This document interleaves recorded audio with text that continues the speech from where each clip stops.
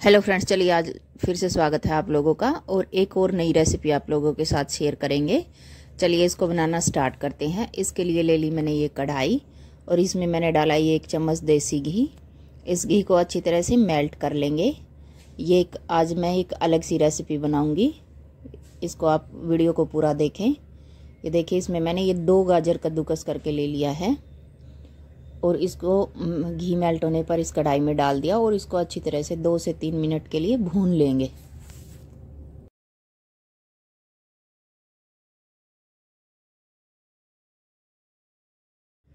ये देखिए, इसको दो मिनट भूनने के बाद इसका कलर भी चेंज हो गया है और ये गल भी अच्छे से गई थी।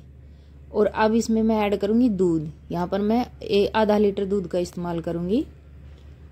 और इसमें आधा दूध पहले ऐड कर दूँगी और आधा करूँगी थोड़ी देर बाद में।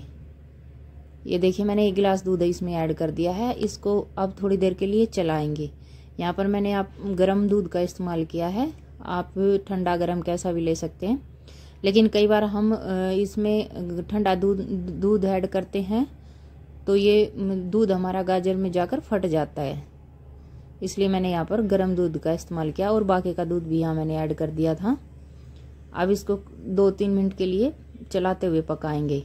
और ये देखिए, चलिए आगे इसमें क्या क्या डालेंगे वो देखते हैं। ये मैंने 10 से 12 काजू भिगो कर रख लिए थे और ये आधी कटोरी चावल भिगो कर रख लिए थे। इसको मैं मिक्सी के जार में डालकर इन दोनों चीज़ों को इनका पेस्ट बना लूँगी। ये देखिए चावल भिगे हुए चावल मैंने इसमें डाल दिए और ये काजू को भी इसमें डाल देंगे और इसमें थोड़ा सा दूध ऐड करके इनको अच्छी तरह से पीस लेंगे। आप दूध की बजाय यहाँ पानी का इस्तेमाल भी कर सकते हैं। ये देखिए, ये दूध ऐड किया और इसका एक अच्छी तरह से पेस्ट बना लेंगे बारीक सा। चलिए अब इस पेस्ट को देखते हैं, किस प्रकार का बन के तैयार हुआ हमारा। ये देखिए, इसको मैंने जार को खोल लिया और ये देखिए, एकदम से बारीक पेस्ट बनकर तैयार हुआ है। अब इसको रख देते हैं साइड में और ये मैंने ले लिया यहाँ पर कस्टर्ड पाउडर। यहाँ पर एक चम्मच कस्टर्ड पाउडर लूँगी और उसको ठंडे दूध में घोल करके इसका भी पेस्ट बना लेंगे। ये देखिए, दूध की बजाय आप यहाँ भी पानी का इस्तेमाल कर सकते हैं।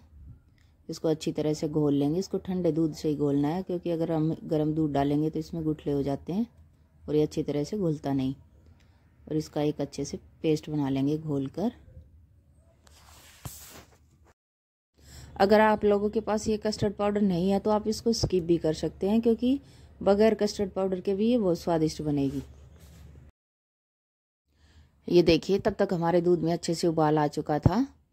और एक बार इसको चला देंगे, और फिर जो हमने काजू और चावल का पेस्ट बना के रखा था, उसको इसमें ऐड कर देंगे। ये देखिए, अब इसको हम, क्योंकि हमारी ये गाजर भी अच्छे से गल चुकी थी, अब इसको इसमें ऐड कर देंगे। और इसको कुछ देर के लिए चलाते हुए पकाएँगे। ये रेसिपी खाने में बहुत स्वादिष्ट लगी थी। एक बार आप लोग इसको ट्राई ज़रूर करें। और अब इसमें मैं डालूँगी चीनी। यहाँ पर मैं आधी कटोरी चीनी का इस्तेमाल करूँगी। चीनी आप अपने टेस्ट के अकॉर्डिंग डालिए। ये देखिए मैंने आधी कटोरी चीनी का इस्तेमाल किया है। और अब इसको थोड़ी देर के लिए पका लेंगे, क्योंकि चीनी डालने के बाद तो ये एक बार फिर से थोड़ा पतला होगा, और इसको अच्छी तरह से फिर से पका लेंगे। इस रेसिपी का टेक्सचर इतना क्रीमी हो गया था कि जो हम गर्मियों में रबड़ी वगैरह खाते हैं, उस हिसाब से बनकर तैयार हुई थी। और अब इसमें मैं, जो मैंने कस्टर्ड पाउडर घोल के पहले से रखा था, उसको इसमें ऐड करूँगी। उससे क्या है कि हमारी ये थोड़ी सी थिक भी हो जाएगी और इसका फ्लेवर भी अच्छा हो जाएगा। ये देखिए, इसमें मैं कस्टर्ड पाउडर का गोल इसमें डाल दूँगी। और अगर आप चाहो तो इसमें कुछ इलायची पाउडर डाल सकते हैं या फिर कोई ड्राई फ्रूट्स और भी डाल सकते हैं या कोई एसेंस वगैरह भी डाल सकते हैं, लेकिन मैंने इसमें और कुछ नहीं ऐड किया। ये इन्हीं चीज़ों से बहुत स्वादिष्ट बनकर तैयार हो गई थी। अब इसको थोड़ी देर के लिए चला लेंगे, नहीं तो ये तली में जाके जम जाएगा। कस्टर्ड डालकर इसको थोड़ी देर के लिए चलाएँ ज़रूर। अब यहाँ पर मैंने कुछ थोड़ी सी किशमिश पहले से पानी में भिगो कर रखी थी।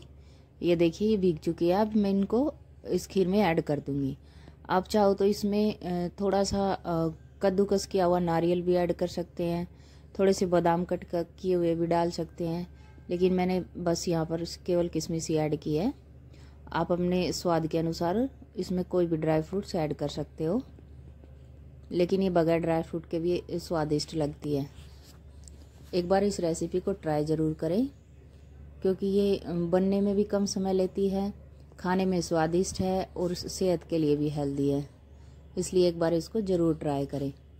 अगर आप लोगों को मेरा वीडियो पसंद आता हो तो मेरे चैनल को सब्सक्राइब करें लाइक शेयर कमेंट्स करें बेल आइकन दबाएँ, ताकि आने वाली वीडियो का नोटिफिकेशन आता रहे।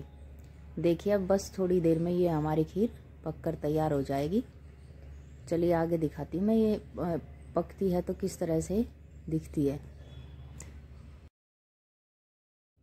ये देखिए, अब ये हमारी रेसिपी अच्छी तरह से खदकने लग गई है और अच्छी तरह से पक भी चुकी है। अब ये एकदम से बनकर तैयार है और देखिए कितना क्रीमी सा टेक्सचर है इसका। आज के लिए इतना ही। चलिए मिलते हैं किसी नेक्स्ट वीडियो में।